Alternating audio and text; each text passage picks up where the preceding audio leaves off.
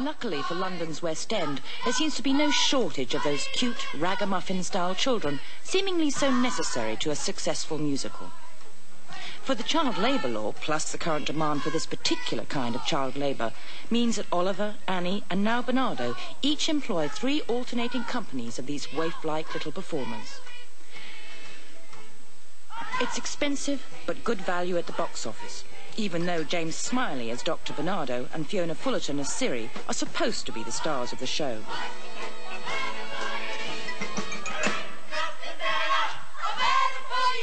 And of course, the real Barnardo did dedicate his life to children, as James Smillie recalls.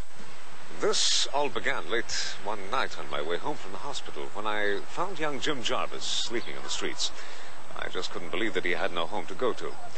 And I quickly discovered that there were many other hundreds of young children, boys and girls, just like Jim, with nowhere to go. My friends didn't believe it could be true. So one night in 1866, Jim Jarvis took some of my friends to a favorite sleeping place beside the warmth of the chimneys. There was Cyrus, she's now my wife, and Darcy, another doctor from the London hospital, together with Lord Shaftesbury, their uncle. Something had to be done, and the first thing was to show that somebody cared. Our Father in heaven, give me the courage and strength to save these poor souls. In the extravagant world of the musical, that could only be a cue for a song. Take it away, Barry.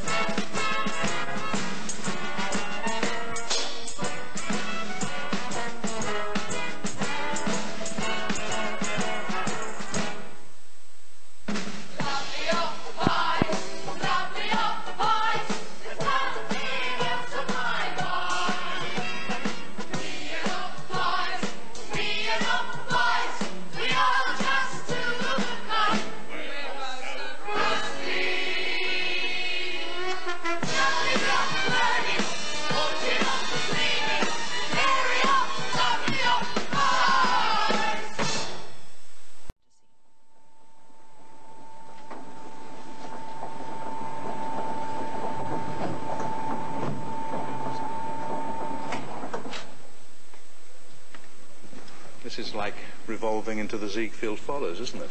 you like all that kind of thing, don't you? I love it. I love the world of make-believe. MGM, if I'm not advertising. Yes, in fact, you seem to like extravagant things. I mean, for example, you don't exactly stint on sentimentality in this show, do you? Um, I wouldn't call it sentimentality. Um, sentimentality to me has a feeling of slush about it. It's emotional. And emotional has a kind of realism about it. And this show is real. Remember, it's based on a true story. A large amount of cash does seem to have been put into the stage portrayal of poverty-stricken London. Press a button and everything in sight seems to lift, turn or drop into place. As I watched the operation, I kept worrying stage manager Richard Andrews would cue the wrong button and everything would lift, turn and drop into pieces. But it didn't. Now, you say it's based on a real story, but how much is it really based on a real story? A lot of it is. A lot of it is real, but when you're entertaining the public, you have to put a little icing on the cake. So you do muck around with it a bit? A little bit, yes. I have to, but without changing the character of Barnardo himself or his wife. I have a favorite song, actually. It's one of the songs that the children sing when they're going to bed at night. I think that's my favorite one. It was the first one I actually wrote for the show.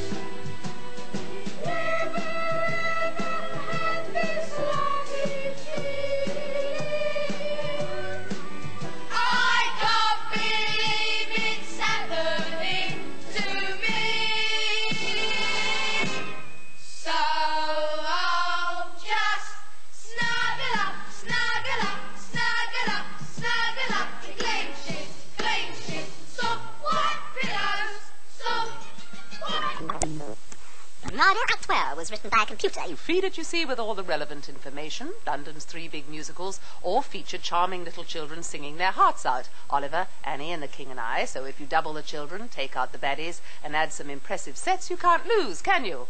Oh, yes, you can.